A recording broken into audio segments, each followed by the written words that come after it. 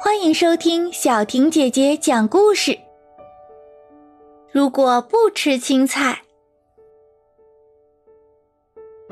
明一是个特别喜欢吃肉的小男生。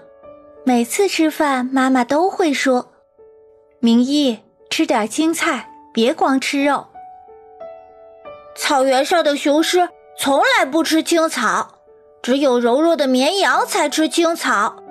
我是足球场上的狮子，当然只吃肉不吃菜喽。明一一边说，一边拿着大鸡腿大大的咬了一口。爸爸给明一解释：人和狮子的肠胃消化系统不同，狮子的肠道很短。适合吃肉，人的肠道很长，而且在肚子里是绕圈生长的。如果光吃肉，会很难消化的。可是肉太好吃了，青菜一点都不好吃。明一把头摇得像拨浪鼓，不同意爸爸的说法。他还把盛着青菜的盘子推得远远的。明一，我们做个约定吧，你可以先做几天的狮子，光吃肉不吃菜。妈妈笑眯眯地说道：“妈妈英明，妈妈万岁！”明一欢呼着扑到妈妈怀里。但如果你自己要求吃青菜，我们的约定就结束喽。妈妈认真的说：“放心吧，妈妈。”我是绝对绝对不会主动要求吃青菜的，明一自信地说。一天，明一吃了一大盘炸鸡，妈妈果然没有催着吃青菜，明一吃的特别开心。足球场上的明一果然像雄狮一样，跑得又快又有劲儿。晚上。明一躺在床上，美滋滋的想：“炸鸡真好吃，明天要是再配上一大杯冰镇可乐，就更好了。”第二天早上，明一一口气儿吃了六根烤香肠，撑得直打饱嗝，一口青菜也不用吃，真痛快呀！上午，明一参加幼儿园大合唱。他放了一串没有声音的屁，熏得同学们捂着鼻子跑开了，只剩下明一尴尬地站在舞台上。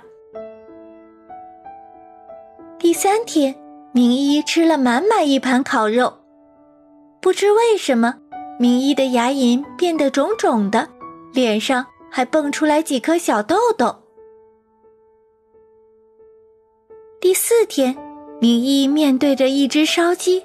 嘴巴想吃，肚子却胀胀的。明一已经三天没有大便了，他跑到厕所想拉便便，拉的屁屁火辣辣的疼，才勉强拉出来几粒兔子屎大小、又干又硬的绿色便便。第四天，明一看着一盘火腿炒饭，勉强吃了几口。就吃不下了。下午的足球训练，明一上场跑了一会儿，肚子就疼了起来，他只好捂着肚子下场休息。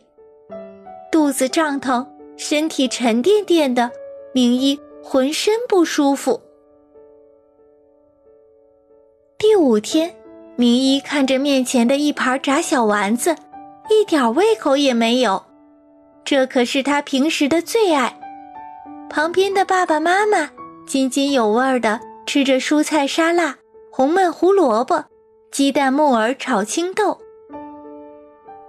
明一看着那些诱人的蔬菜，悄悄咽了咽口水。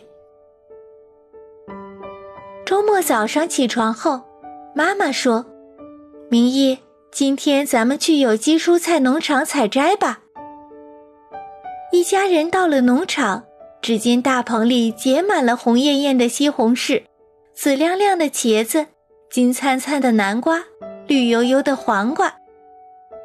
明一第一次看着这么多鲜嫩的蔬菜，他真想扑上去，嘎吱嘎吱的吃个痛快。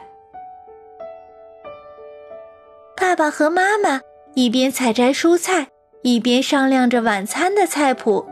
明一跟在后面，听得直流口水。明一，今晚你想吃什么肉菜呢？妈妈回头笑着问。我，我，我想吃。明一支支吾吾了好半天，突然大声说：“妈妈，我今晚想吃青菜。”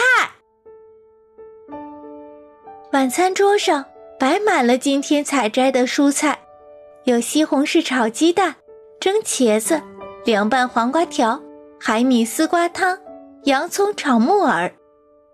明一大口吃着。从来没有吃过这么美味的青菜。到了晚上，明一急匆匆地冲进了厕所，一阵扑噜扑噜的声音后，拉粑粑真舒服呀！厕所里传来明一的声音，爸爸妈妈相视一笑。小朋友，当我们拉不出便便、放屁臭臭的时候。要多吃什么呢？是蛋糕、蔬菜还是肉呢？欢迎留言给我，我们下次见。